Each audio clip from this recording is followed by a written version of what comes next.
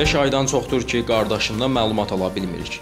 Sağdırmı, sağlamdırmı xəbərimiz yoxdur. Bu barədə bizə heç nə demirlər. Bunu Kəlbəcər girovu Şahbaz Quliyevin qardaşı İlham Quliyev bildirib. Onun sözlərinə görə Beynəlxalq Qırmızı Xaç Komitəsinə müraciət etsələr də Şahbaz barədə nə yazılı, nə də şifahi məlumat verilir. Qardaşımın yeni foto və videosunun olmaması bizi çox narahat edir. Elə bil həyatda belə insan olmayıb. 5 aydır bir parça kağız da gətirmirlər. Ümidlərimiz girovların dəyişdirilməsinə qalıb. Əlimizdən başqa iş gəlmir. Çarəmiz dua və ümid etməkdir. Yaxın gələcəkdə onların geri alınacağına inanmaq istəyirik.